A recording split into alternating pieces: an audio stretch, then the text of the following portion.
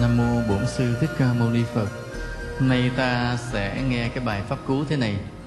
Không tìm được bạn lữ hơn mình hay bằng mình Thà rằng sống một mình Không làm bạn kẻ ngu. Chữ ngu đây là người không có đạo đức á, Chứ không phải chữ ngu là ngu si.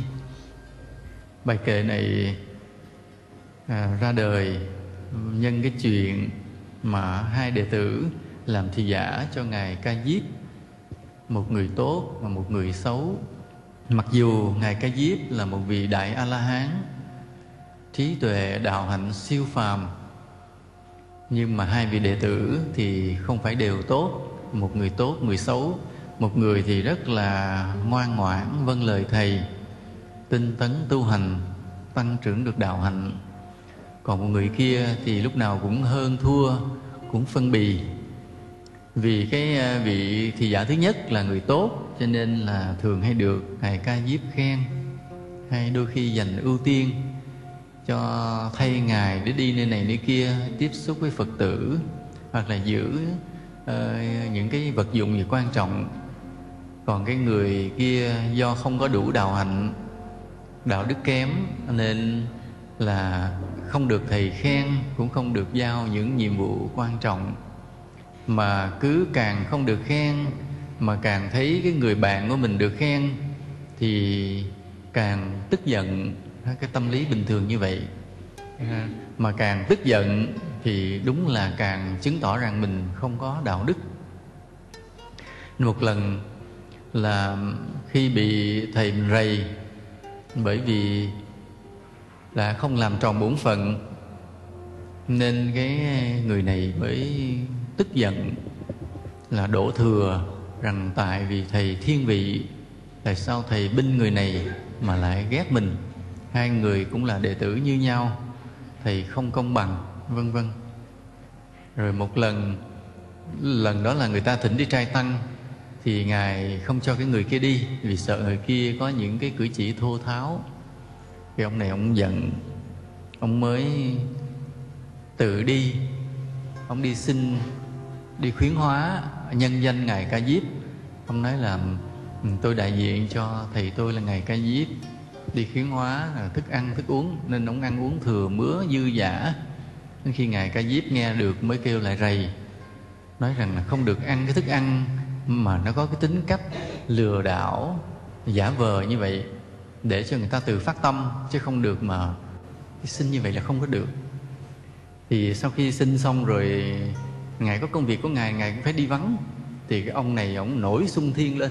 Tức là nhiều ngày tháng ông chất chứa cái cái bực bội đối với thầy mình.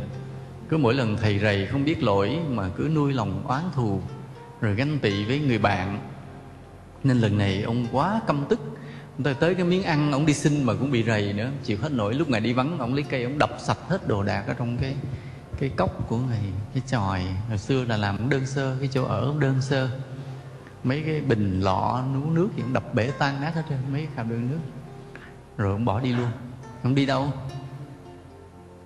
Đi cưới vợ đi đâu? Nó hoàn tục. Và dĩ nhiên một cái người mà cái đào hạnh kém như vậy đối với thầy mình mà cũng không đủ lòng kính trọng như vậy um, đối với giới hạnh không giữ như vậy thì khi hoàn tục có sướng không? Không. Hoàn tục không bao giờ sướng không có sướng là vì không có phước. Nhưng mà thường là như thế này.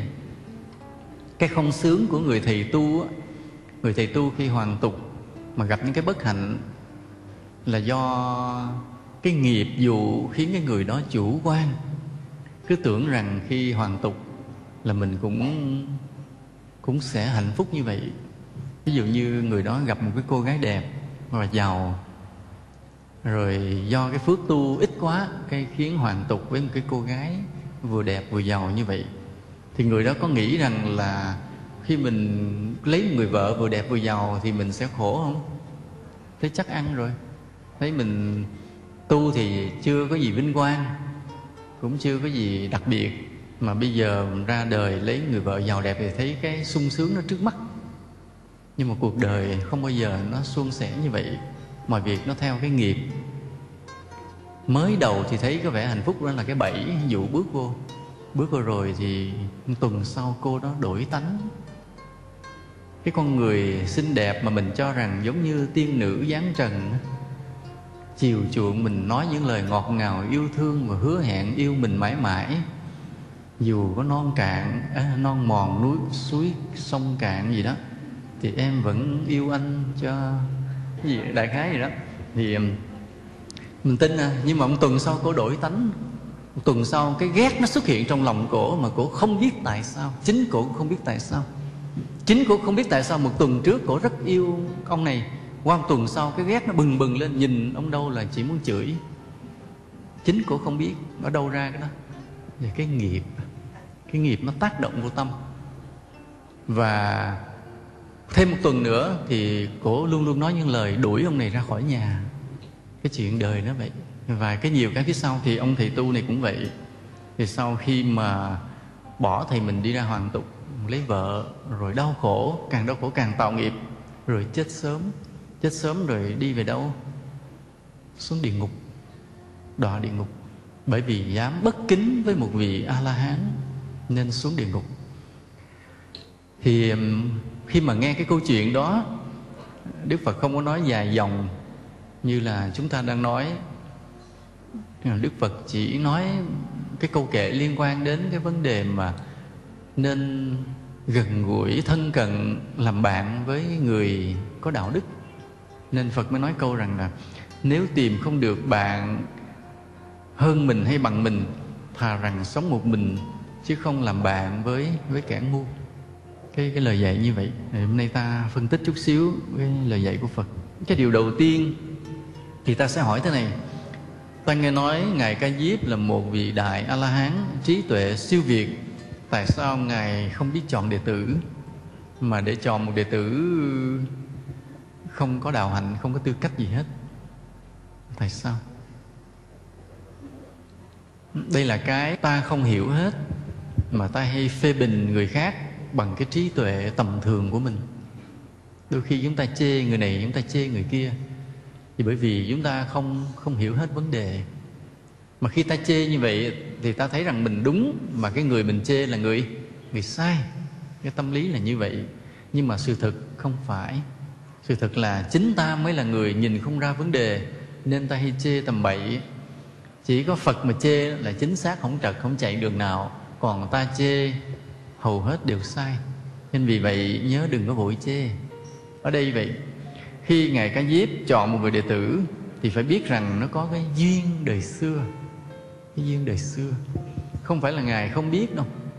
Nhưng mà thường á, là các ngài hay hy vọng bây giờ nó phát tâm nó tu. Thôi kệ, để cho nó tu. Biết đâu trong thời gian tu nó được chuyển hóa. Nó có cái chữ biết đâu á là do cái lòng từ bi, nên các ngài hay dùng cái chữ biết đâu. Chứ ngay buổi đầu nhìn là đã biết ai ra sao rồi, nó không phải là không. Nên những vị thầy lớn nhiều khi các ngài nhận đệ tử đông, không phải đệ tử nào cũng giỏi, mà chỉ vì những người đó có duyên đến với mình.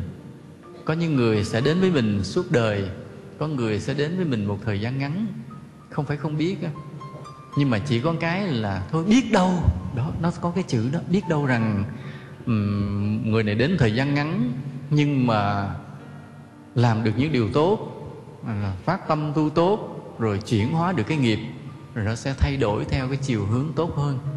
Chứ còn bỏ họ thì không đành vì dù sao cũng có ân nghĩa đời xưa.